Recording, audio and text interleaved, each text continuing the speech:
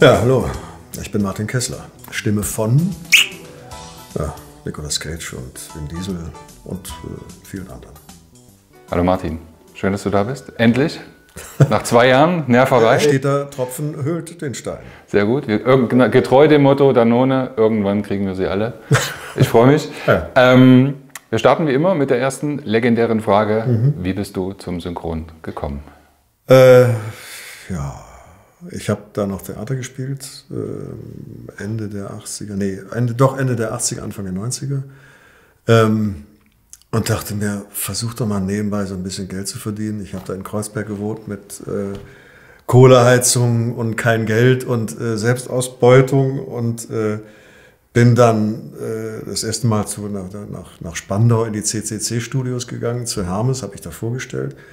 Und das war so die Zeit, als die Privatsender aus dem Boden geschossen sind und wirklich alles synchronisiert wurde, was sich auch nur bewegt hat.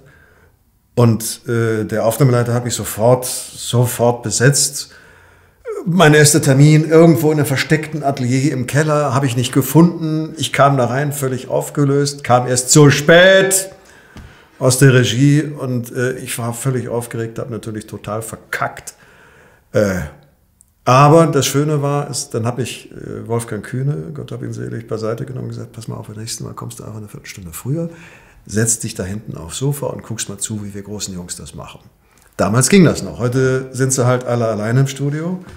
Und das habe ich dann auch getan, habe mich immer brav hinten reingesetzt und gestaunt, wie das die Herrschaften da so locker konnten. Von wem hast du was gelernt? Wem konntest du über die naja, Schulter schauen? Mich hat, mich hat dann ganz schnell hat mich Rainer Brandt aus der Menge so, komm, komm, komm her, sag mal, wo kommst du, wer bist du, wo kommst du her, was machst du? Der hat mich ganz schnell aus der Menge rausgeholt, mir, mir äh, wahnsinnig schnell eine Rolle gegeben, wo ich völlig überfordert war. Ich glaube, wenn ich das heute hören würde, ich würde mich in Grund und Boden schämen.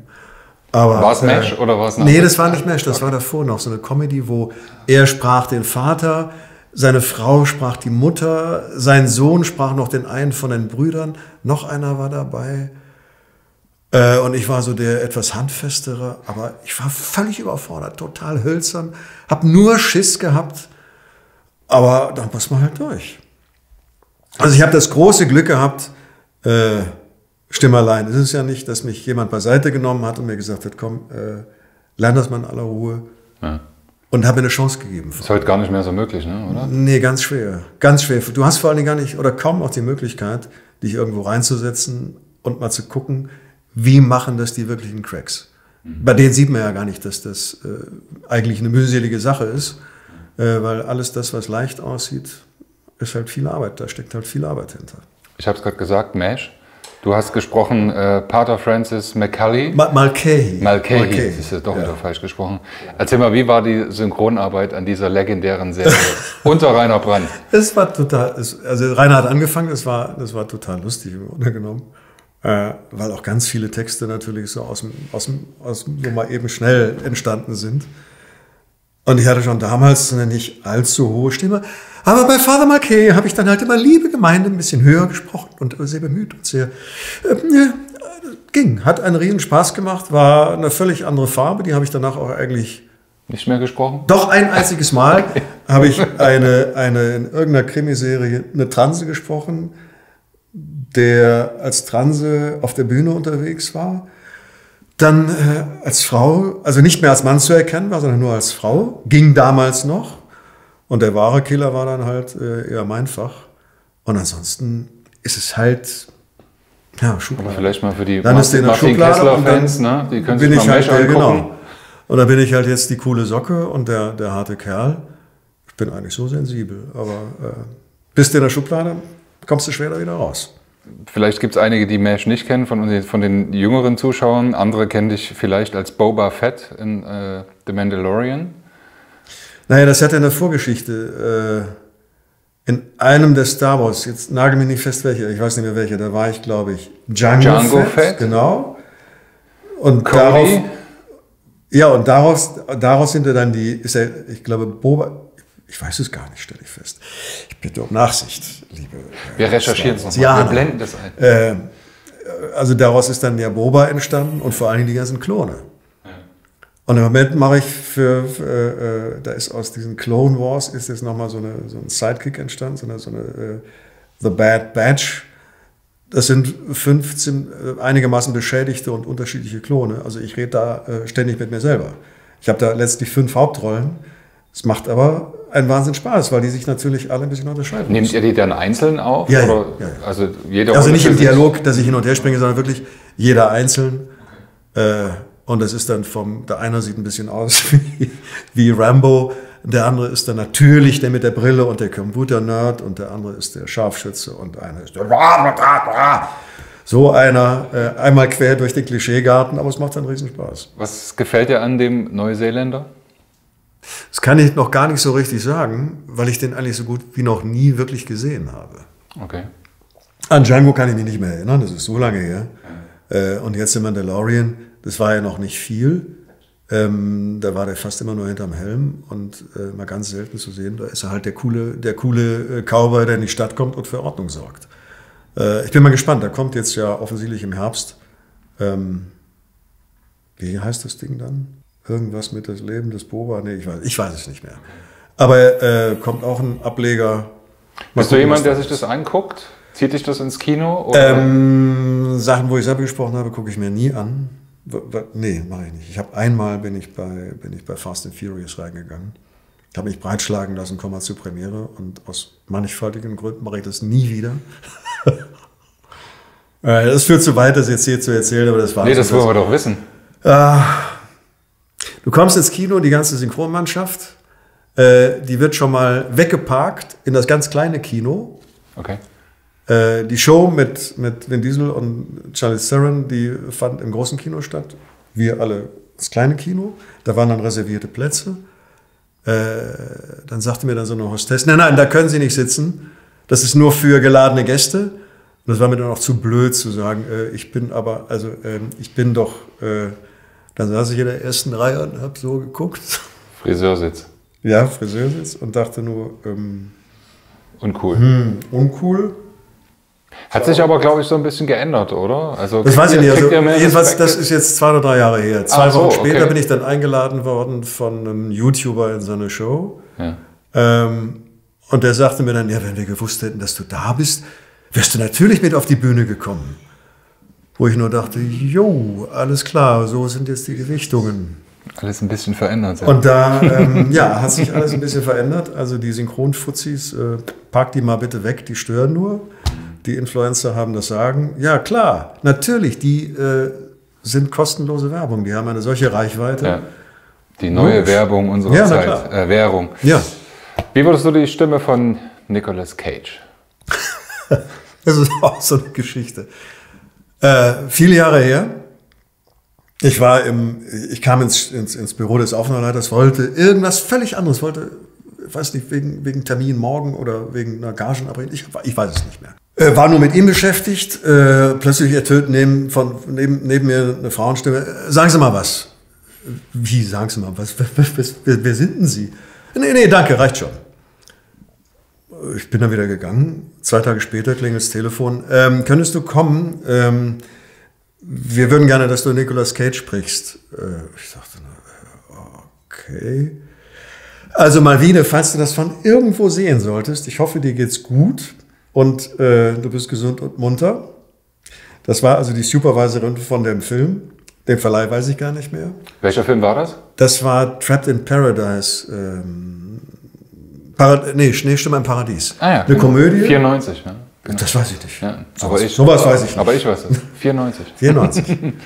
Und das war natürlich dann war eine echte Herausforderung, weil ich heute würde ich sagen, ich war noch nicht so weit. Okay. Hm. Hat dann ganz gut geklappt. Wer hat damals Regie gemacht, weißt du das noch? Ähm, nee, weiß ich nicht mehr. Doch, wahrscheinlich Kunstendorf selber. Ich glaube Kunstendorf selber. Ich weiß es aber nicht mehr. Zwischenfrage, was macht einen guten Regisseur aus? Äh, der muss ein gutes Ohr haben, muss immer wieder mal Wege weisen können, muss den dramaturgischen Überblick haben.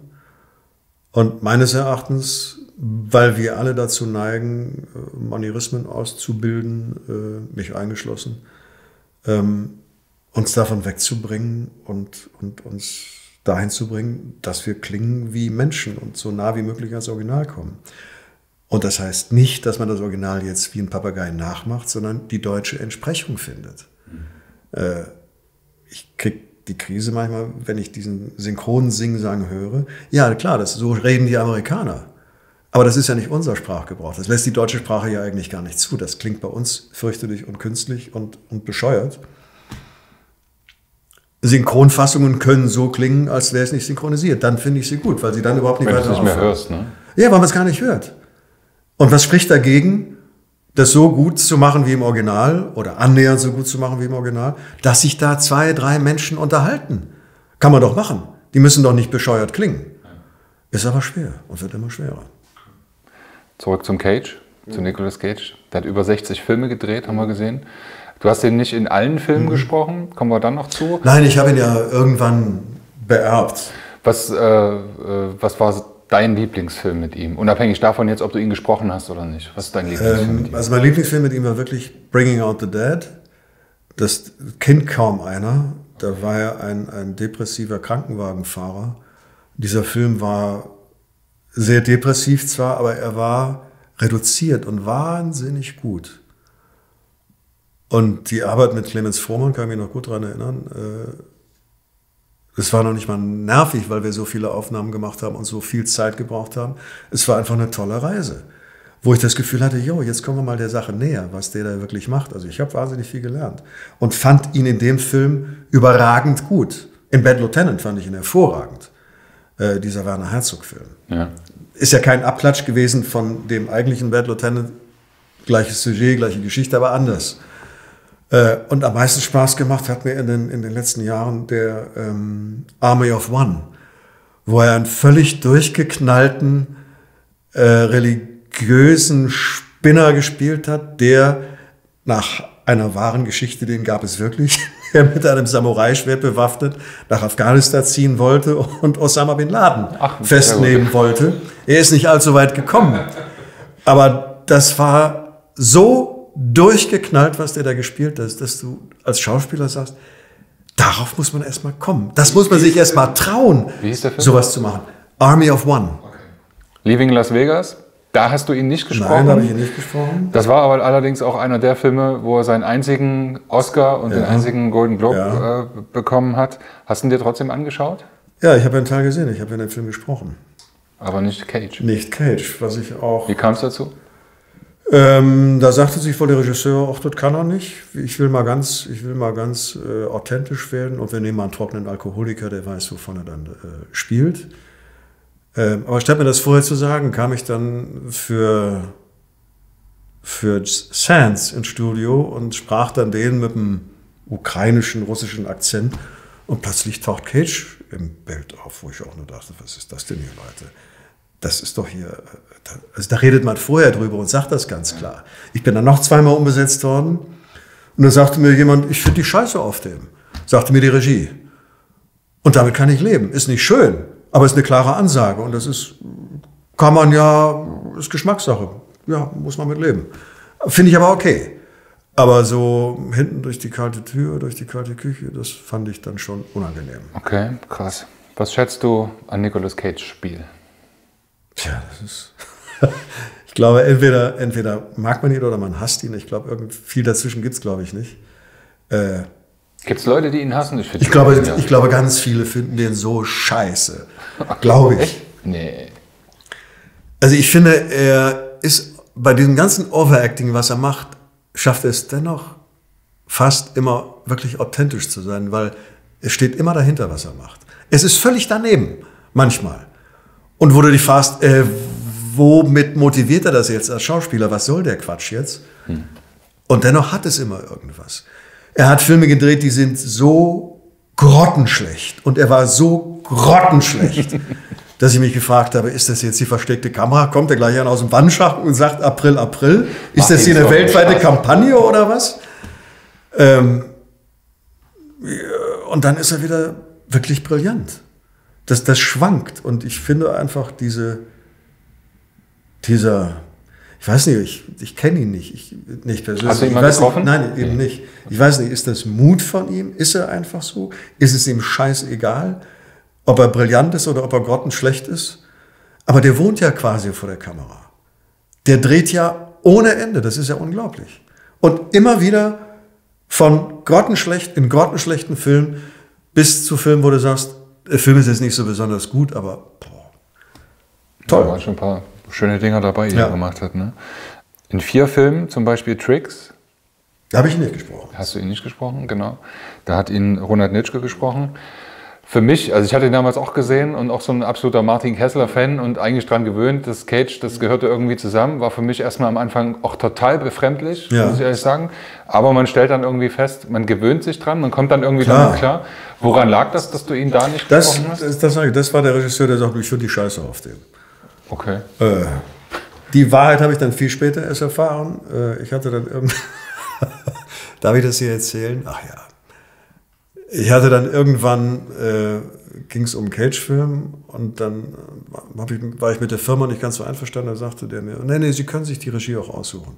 Dann habe ich mir genau diesen Regisseur ausgesucht, weil ich, ich finde diese Offenheit und diese Klarheit, damit komme ich wunderbar klar. Man kann sich was um die Ohren hauen, es bleibt auf einer ja. professionellen Ebene, es ist nicht hinter 40 Feige, also kein Problem. Und dann war alles gut. Äh, aber das war eine Entscheidung, die hat er damals getroffen, hat er dann irgendwann revidiert. Hm. Und gut ist. Krass. Die haben dich gefragt, du sollst Cage als Hauptrolle synchronisieren. Ja, und ich habe gesagt, es tut mir leid, aber nicht, aber nicht bei der Regie. Okay. Bei denen spreche ich nicht. Okay. Ja, dann suchen Sie sich doch einen aus. Sie dürfen sich einen aussuchen. Habe ich schon gemacht. Cool. Krass. Hab ich noch nie gehört. Also da stand, da standen ja, drei, drei standen ja. zur Debatte und einer von denen war dann derjenige. Wer hat es gemacht? Welcher? Das sage ich jetzt nicht. Achso, das blenden wir ein. Ähm, umgedreht hast du auch äh, Brad Pitt gesprochen in Troja ja. statt Tobias Meister. War für mich auch völlig befremdlich. Ja, natürlich, klar. Ähm, kam ich gar nicht mit klar. Nee, da ist keiner mit klar gekommen offensichtlich. Ich habe dafür so viele Schläge bekommen. Wie kam es zu der Entscheidung? Naja, die haben, die haben die, die hatten die Produktion schon fertig. Äh, dann hat sich Petersen die Muster angehört, fand die Besetzung, nach seiner Auffassung war das nicht in Ordnung. Dann haben die mich unter anderem nochmal geholt zum Probesprechen, weil ich Brad Pitt in, wie hieß denn das, Legenden der Leidenschaft gesprochen hatte. Viel, viel früher, einmal. Äh, und dann hat sich Peterson für mich entschieden. Und äh, das haben wir dann alles geklärt, mit Tobias alles besprochen. Und er ist nun mal ein Deutscher, er kann es nun mal beurteilen, wie es auf Deutsch klingt oder nicht. Es ist natürlich also zumindest hat das nicht nach Amplitude entschieden, wie es ja heute oft gemacht wird. Ja, nee, nee, das war noch eine richtig künstlerische Entscheidung und nicht nach Hüllkurve. Ähm, und dadurch, dass er das wirklich beurteilen kann, fand ich das auch durchaus legitim. Ich entnehme deinen Worten, dass du es heute nicht nochmal machen würdest? Oder würdest du es auch? Ja, es kommt, es kommt darauf an, wie eine Entscheidung zustande kommt. Ähm, klar habe ich von den Fans Prügel bekommen, logisch.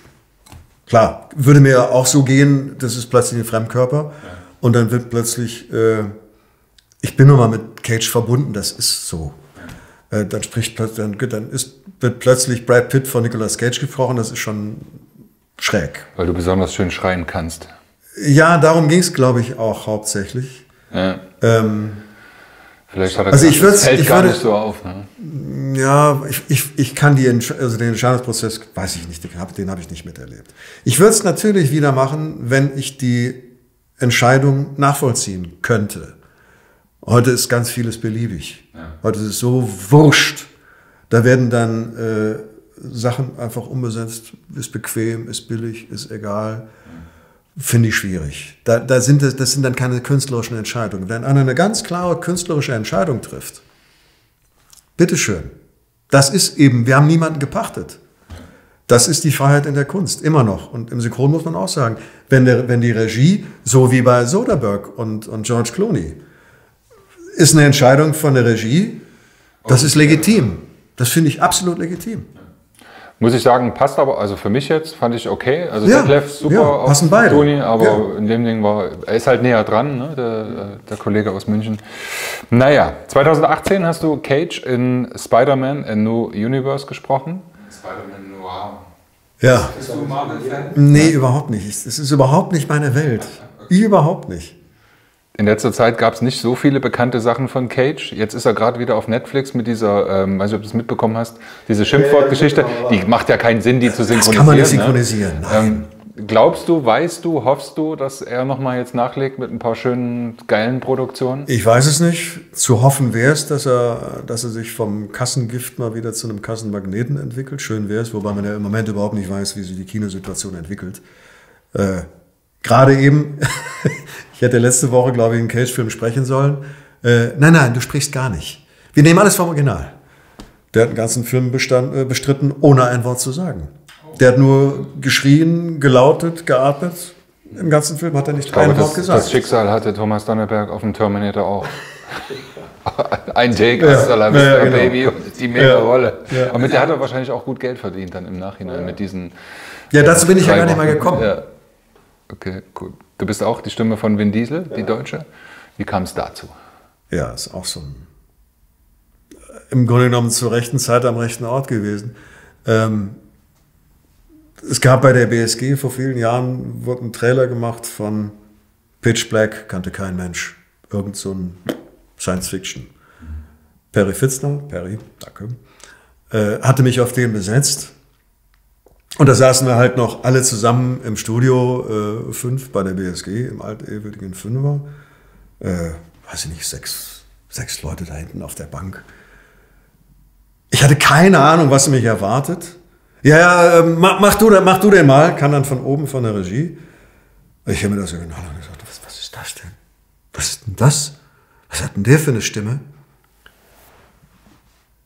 Und habe dann in Sekundenbruchteilen mir irgendwas überlegt, was ich äh, da irgendwie, um da adäquat ranzukommen. Und in diesem Science Fiction war das ja nochmal noch mal eine Nummer obendrauf an merkwürdiger Stimme. Das werde ich jetzt auch hier nicht demonstrieren. Ähm, Das hatte mich schon gefreut. und und habe mir das dann so zurechtgelegt und dachte, oh Gott, was habe ich denn jetzt hier gerade verbrochen? Äh, habe auch gar nicht weiter darüber nachgedacht, weil das war noch so die Zeit, da haben die Trailer wurden dann oft von anderen gesprochen als im Hauptfilm und so. Und dann wurde ich angerufen. Ja, die fanden das genau so, bitte, wie du das da gemacht hast, im Film auch. Und dann, äh, ja, dann kam Pitch Black zustande und dann äh, hatte ich mir dann Ei gelegt. Ähm, War anstrengend. mit- Es war, ist wahnsinnig anstrengend, so auf der Stimme rumzureiten, ohne sich weh zu tun. Äh, ich kriege das auch immer wieder nur hin, wenn ich den vor mir sehe. Jetzt so aus dem, aus dem, aus dem FF, nee, weiß ich gar nicht. Anders Würde ich aber jetzt auch gar nicht machen wollen, weil äh, Nee, musst du nicht. albern. Nein. Wir nötigen dich nicht. ähm, bei Vin Diesel denken ganz, ganz viele ja natürlich sofort an äh, Fast and Ja, Furious. ähm, was glaubst du, warum sind diese Filme so erfolgreich? Ja, ich, also es ist, ähm, es sind halt handgemachte Action-Sachen. Gut, jetzt heutzutage auch viel C oder fast nur CGI. Ich glaube, das ist immer noch bei, bei, bei den äh, Testosteron geschwängerten jungen Männern ist es einfach so geil, so Auto zu fahren, diese coolen Sprüche abzusondern, sich so auf die Fresse zu hauen, ohne dass man irgendwas abbekommt. Äh, es ist halt Action. Popcorn-Kino. Popcorn, Action, Film, Kino, was auch immer jetzt im Streaming wahrscheinlich kommen wird. Äh, früher war es wahrscheinlich Bud Spencer und Terence Hill. Jetzt ist es Fast and Furious, Furious mit, mit Autos. Keine Ahnung. Ähm, Im Mai soll der neunte Teil rauskommen. Hast du schon was davon gehört? Äh, ja, wenn es nicht schon wieder verschoben wird, äh, nächste Woche. Freust du dich drauf? ja, du bist nein, unbesetzt. Ist, noch nicht, vielleicht. Noch nicht ganz, aber kommt vielleicht noch.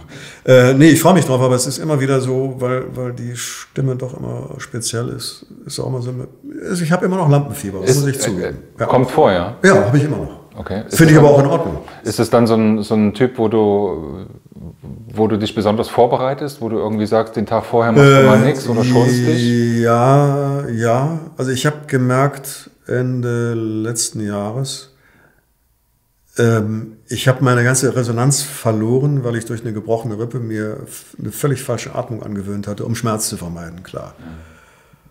Und da habe ich dann erstmal wieder ein bisschen Stimmbildung, Stimmbildung äh, mir genommen, äh, mache ich bis heute.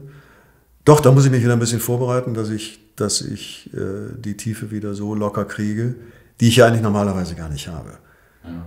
Ich, bin, ich bin Bariton, aber ich bin kein Bass. Also muss ich mich da wieder ein bisschen hinschummeln. Cool. Was macht Vin Diesels Performance aus? Ist es deiner Meinung nach ein guter Schauspieler? Nein, doch, er ist ein guter Schauspieler. Äh, Habe ich einmal gesehen in, einem, in einer Sidney Lumet-Verfilmung, wo er einen Mafia-Typen gesprochen hat, der sich anhand, also die haben die, die richtigen Gerichtsprotokolle verfilmt. Der hat sich offensichtlich vor Gericht selber verteidigt und war so pfiffig. Und das hat Vin Diesel mit Haaren so gut gespielt, dass ich dachte, Mensch, der kann ja wirklich was. Aber die Kohle machte natürlich mit dem Ultra coolen, klar. Äh, aber auch das muss man erstmal hinkriegen, so cool sein zu können. Gibt es eine andere Rolle, wo dir besonders gut gefallen hat, Vin Diesel? Hm, ja, also ich finde nach wie vor die, die, diese Reddicks finde ich wirklich gut. Ähm, die anderen Sachen nicht mein Geschmack. Aber das ist halt Vin Diesel, wie Vin Diesel so ist. Und im, im Riddick, es ist immer noch, noch ein kleines bisschen mehr gebrochen. Ein bisschen mehr Ironie ist dabei als in den anderen Filmen. Es gibt, wenn man bei YouTube Martin Kessler und K. Dieter Klebsch eingibt, mhm. unter anderem eine Szene, wo ihr beide bei gute Zeiten, schlechte Zeiten zusammen in einer Szene seid. Wie, das, das es bei YouTube? Ja. Und äh, ich hoffe, die kriegt jetzt noch ein paar Klicks. Echt? Das ist äh, irre. Und ja. kannst du dich noch daran erinnern, dass ihr da zusammen gespielt habt? Naja, das, das, ja, ja, ich, ich kann mich daran erinnern, weil äh, das war. Hannes Bach, wie hieß deine Rolle? oh, das, das weiß ich nicht mehr. Na, was? Das weiß ich, sowas weiß ich nicht mehr. Äh, das, war die, das war 2003, glaube ich. Das war das Jahr der Kirchpleite wo, wo, wo ich von einem Tag auf den anderen. Von einem Tag auf den anderen sind mir ganz viele Produktionen weggebrochen und ich musste gucken, wie ich meine Miete zahle. Und da bin ich halt auch bei gute Zeiten, schlechte Zeiten gelandet. Und äh, ja, dann hatten wir zufälligerweise. Wie lange warst du da? Das war nicht viel. Okay. Nee, weiß ich nicht mehr, ein paar, paar Drehtage. Okay. War nicht viel. Und dann hatten wir, äh, durch Zufall, hatten wir das Vergnügen zusammen. Und da wir es ja schon kannten, war das irgendwie auch. Äh, ich habe keine Ahnung, wie das heute wirkt. Ich weiß, muss, muss ich mal gucken. Sieht sehr gut aus. Muss ich mal gucken. Ähm, ich komme zurück zur Synchronregie. Was einen guten Regisseur ausmacht, hast du vorhin schon beantwortet. Du hast äh, Regie gemacht bei Outer Limits zum Beispiel. Ja, das ist ja 100 Jahre her. 95 bis 2002 hast du übernommen. Ah, ja. War das dann sozusagen das Gegenstück zu deiner Arbeit, was du vorher gemacht hast, dass du gesagt hast, ich will mal auf die andere Seite? Äh, nee, das hat Studios? sich, ja, das hat sich so ergeben. Äh, ich habe damals bei, bei Perry Mason den Paul Drake gesprochen äh, und Engelbert brauchte eine Co-Regie und so bin ich dann da reingerutscht und irgendwann haben sie mir dann Auto Limits angeboten und dann lief das mit ziemlich großem Erfolg. Die war ja auch gut gemacht. Äh, und dann, ich bin so in die Regie reingerutscht. Ich habe es gar nicht darauf angelegt, aber es hat sich so ergeben. Auf welche Regiearbeit bist du besonders stolz? The Shield, Deadwood, Sons of Anarchy. Das waren, waren wirklich drei tolle Produktionen, auch im Original. Ich habe ja noch viele andere Sachen gemacht, viele, viele weiß ich überhaupt nicht mehr. Du schreibst auch Bücher? Ja. Worauf kommt es bei einem guten Synchronbuch an? Puh. Naja, Gesprochene Sprache finde ich ganz wichtig, dass es sich nicht anhört wie ein literarisches Kolloquium. Es sind ja ganz viele Sachen, kann man hinschreiben und die liest man so leise vor sich hin, ist okay, aber es ist nicht gesprochene Sprache. Naja, dass es synchron ist, auch wichtig.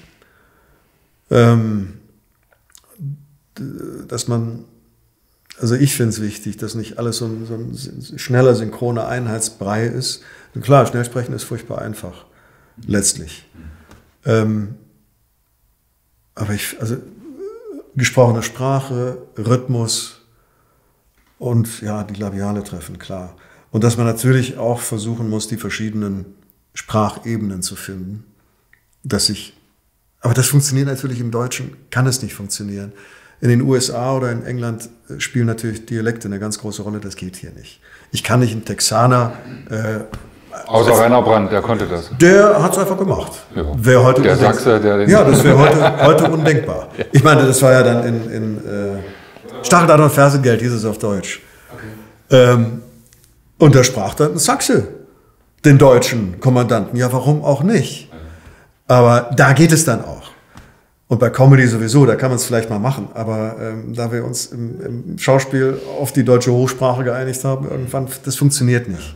Ich kann nicht einen Südstaatler das geht nicht mit dem Schwaben oder mit dem Bayern. Funktioniert nicht. Wird immer also das, das geht einfach verloren. Merkst du auch beim Tatort, wenn dann irgendwie versucht wird, da irgendwie sehr lokal da den Gerichtsmediziner reinzubringen. Das haut nicht so richtig hin. Nee, zwischen den anderen Hochdeutsch ja. sprechenden Schauspielern. Das ist irgendwie wie so ein Fremdkörper. Ja. Ne? Ähm, du hast auch viele Hörbücher gelesen oder einige? Naja, immer wieder mal. Ähm, dein Favorit die letzten Jahre? Das ist eine blöde Frage. äh, ich weiß es nicht. Frankie Machine. Frankie Machine war gut, ja. Äh, ich weiß es nicht. Die haben, die haben alle für und wieder. Manche Sachen würde ich, glaube ich, heutzutage nicht mehr so ohne weiteres machen. Also ich habe auch schon mal eins, was, was mir zu brutal war, abgelehnt. Äh, muss nicht sein. Du als alter Synchron- oder, Sprecherhase, Schauspieler, ist es trotzdem anstrengend, ein Hörbuch zu lesen? Wie ist es für dich? Schüttelst du das aus der Hüfte oder? Nee, aus der Hüfte nicht. Ähm, ich verspreche mich auch. Es gibt, es gibt Kollegen, da, da, da stehe ich staunend davor, die, die lesen seitenweise, ohne sich einmal zu versprechen. Kann ich nicht. Ich bin trotzdem relativ flott, aber ich merke dann auch, also ich arbeite dann sehr schnell, äh, sehr gerne, sehr, also schnell konzentriert ein paar Stunden durch, ohne Pausen zu machen. Dann habe ich auch mein, mein Tagespensum geschafft und danach bin ich aber auch, bin ich aber auch platt. Ich meine, beim Hörbuch, klar, du findest dein eigenes Tempo, du hast zwar den Rhythmus vorgegeben durch die, durch die sprachliche Vorlage, ähm, aber du kannst eher, naja, du interpretierst, oder man interpretiert ja aufgrund von dem, was in einem selber ist. Jeder macht es anders, jeder sieht was anderes drin. Das sind natürlich auf jeden Fall mehr Freiheiten als im Synchron. Im Synchron habe ich die Vorgabe. Klar. Die Hörspielkinder kennen dich unter anderem als Tierarzt Doktor, nee, ich weiß gar nicht, ob er Doktor ist, Robert Eichhorn aus Bibi und Tina. Ja, das ist ein Phänomen, dass ich immer wieder, seit Jahren werde ich auf den angesprochen, von Kindern, von dir. Das ist 100 Jahre, 130 Jahre her. Ich habe den einmal gesprochen. Aber es scheint. Du musst heute äh, noch auf den CDs unterschreiben, wahrscheinlich. Nee, nee das nicht, aber ich werde immer wieder darauf angesprochen. Aber das ist mindestens 30 Jahre her. Hast du im Hörspiel, gibt dir das mehr Freiheit, mehr künstlerische Freiheit als das Synchron zum Beispiel? Hm. Nicht unbedingt, weil ich bin der Meinung, dass man, also künstlerische Freiheit ist in einem, in einem Rahmen möglich. Ohne Rahmen geht gar nichts. Und ich kann meine künstlerische Freiheit genauso gut finden, indem ich, ich weiß nicht, Nicolas Cage in irgendeiner bescheuerten Rolle interpretiere oder eine Rolle, die ich interpretiere in einem, in einem Hörspielrahmen, weil es ist immer ein Rahmen da. Mhm.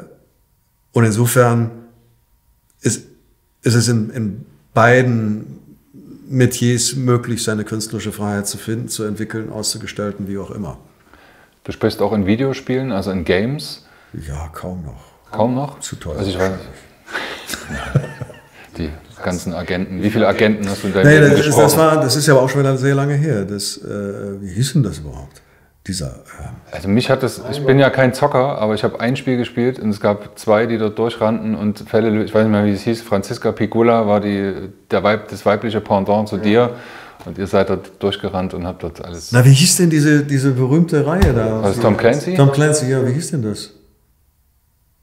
Oh Gott, ich, mach, ich, ich oute mich hier als wir blenden es unten ein, das ist überhaupt kein Problem. Wir kriegen das raus. Der ist ja Kult geworden. Ich hab, ich hab, es ist weg, weil ich überhaupt nicht spiele. Ich habe da überhaupt keine Beziehung zu. Ich habe es gerne gemacht, aber ich habe keine Beziehung zu Computerspielen. Ich habe es mal gemacht, damals als, als Lara Croft rauskam. Das hat mich letztlich so gelangweilt und es war nicht mein Ding. Ich kann damit nichts anfangen. Wie unterscheidet sich das in der Produktion zum, zum Synchron, Computerspiele? Du bist äh, ganz oft ganz eng an eine Timeline gebunden. Äh, also die, die, du musst dann die Vorgabe des Originals zeitlich genau erwischen. Teilweise ist es, ist es viel Text, manchmal viel zu wenig. Also das ist immer. Na, im Synchron ist es letztlich auch so, aber im Synchron sehe ich den. Und bei den Computerspielen sehe ich das nur ganz selten. Da, habe ich, da, sehe ich, da sehe ich nur die, die Hüllkurve. Und dann kommen ab und zu mal äh, kommen dann ein paar synchrone Passagen. Du warst und bist in einigen Werbespots zu hören, unter anderem hast du gesprochen Snickers. Mhm. Ähm, ist die Bezahlung da wirklich, der, die Bezahlung in der Werbung besser als beim Synchron? Wenn man sich den zeitlichen Aufwand anguckt, so gesehen ja. Wenn man sich überlegt, dass die das dann ein Jahr für die Gage senden und wenn ich mir dann überlege, was die pro Schalte bezahlen, dann Nein. beantworte ich jede weitere Frage nur noch mit dem Anwalt. Dein Tipp für Nachwuchssprecher? Kinders, versucht Theater zu spielen. Gerade geht es gar nicht, weiß ich, aber auf der Bühne holt ihr euch den Vorrat fürs Synchron. Versucht, ich weiß, das Geld, das Geld, das Geld, so leicht kann man irgendwo anders Geld verdienen, aber Spielen ist die Grundlage. Und sobald ihr nur im Synchron, so vor allem wie es heute abläuft, verheizt werdet, egal wie talentiert ihr seid, ihr werdet verheizt, äh, da bleibt man hängen in den Ausdrucksmöglichkeiten. Spielt Theater, dreht, macht, was ihr wollt. Synchron nebenbei und irgendwann kann man es dann noch hauptsächlich machen. Aber holt euch erstmal die Grundlage, holt euch erstmal den großen Rucksack mit, mit Gespieltem. Und dann könnt ihr im Synchron viel besser sein, als ihr jemals glaubt. Lieber Martin, danke, dass du da warst. Hat Spaß gemacht. Ich wünsche dir alles Gute. Ja, danke. Danke. Okay, danke. Tschüss.